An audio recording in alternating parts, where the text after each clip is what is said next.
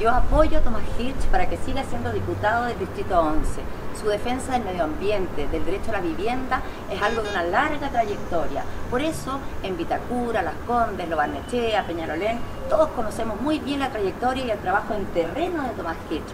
El Congreso necesita contar con diputados como tú. Por eso, yo te apoyo para que sigas siendo diputado del Distrito 11. ¿Qué micro toma Tomás?